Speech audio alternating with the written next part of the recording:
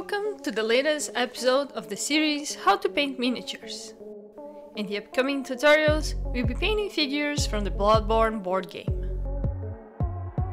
On today's video, we will cover the steps to paint the church giant. If you're enjoying these guides, consider subscribing for more board game painting tutorials and don't forget to like the video to help us. For this project, you need the following colors. The first step of this mini was making the base, and I linked the tutorial for all the Bloodborne mini bases here. After basing and priming the miniature, I diluted Macragge blue and painted the skin of the giant with it.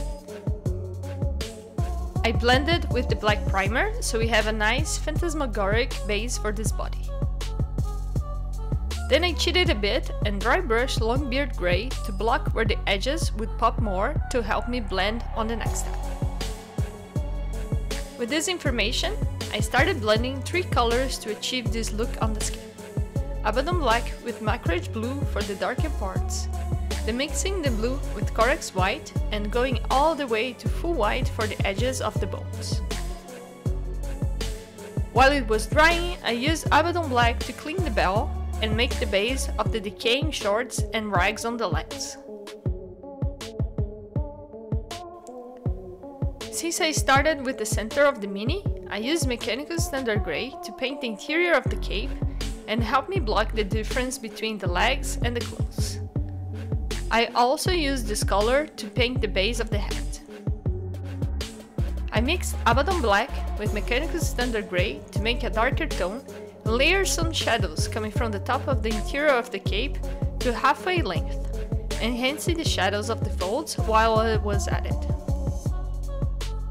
Then I used a mix of Administratum Grey and Mechanicus Standard Grey to add the contrasting light on the folds of the cape, shorts and on the hat.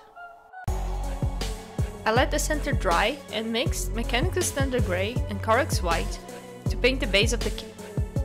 And this is how it looked on the back of the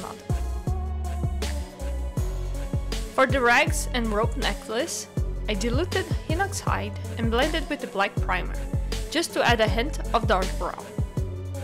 Then I started blending the Rhinox hide into the Mournfang brown on the elevations.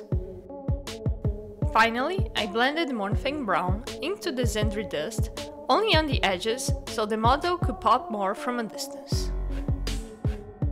At this point, I also started layering the Abaddon black of the shorts with Mechanicus Standard Grey to make it more visible and darken the holes of the cape. I let it dry and move on to the axe handle, which I painted with a mix of Rhinox hide and Mournfang brown. Then I mixed Mournfang brown with Zandri dust to create the veins of the handle's wood. With the same mix of Mournfang Brown and Zandri Dust, I diluted it further to create some light points on the bell and neck chains.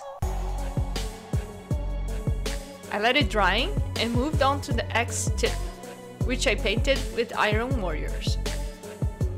After the bell dried, I dry brushed Sigmarite on the edges and center of the bell and chains to create the reflection effect. Back to the axe, I used Nuln Oil to darken the metal except the sharpened edge. Once it was dry, I dry brushed Necron Compendium on the edges of the metal to enhance the reflections. Almost done, now let's finish the cape by using Administratum Grey to add lights on the folds, and diluted Mechanicus Standard Grey to cast some shadows on the fabric. After everything dried, I dry brush Corax White on the edges of the cape to bring everything to a lighter tone and sharpen the edges. I also highlighted the hat, but it was hard to see in this image. Last but not least, it's not Bloodborne without blood, so I mixed Mephiston Red and Abaddon Black to stain the axe and bottom of the cape. And this is the final result. I hope you enjoyed this tutorial and if you have any constructive feedback, questions or suggestions, don't hesitate to drop in the comment section below. If you still haven't done so, hit the bell button to get a notification when the next episode is up. See you next time!